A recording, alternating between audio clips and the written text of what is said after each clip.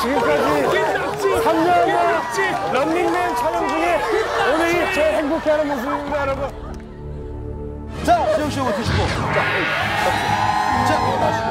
이거 드시고 이거 열심히 하세요. 사실 좀 반대를 했습니다. 위험스럽지 않겠느냐. 뭐 편집을 하셔도 이건 상관이 없는데 네. 왜 금이야원을 했을까? 신이 내린 벌 죽어라. 저도 여자친구 막 만나보려고 일부러 네. 내가 믿는 신한테도 내가 버림받는 사람인가? 이 프로그램에 참여하신 분들께는 신성대학교에서 백화점 상품권을, 한국어 교원 고시스쿨에서 백화점 상품권을, 입시미술 교육 전문 CNC 미술학원에서 백화점 상품권을, 대한민국 화덕치킨 화로화로에서 백화점 상품권을, 극동대학교에서 백화점 상품권을, 건강한 피부의 시작 NST 화장품에서 백화점 상품권을 드립니다.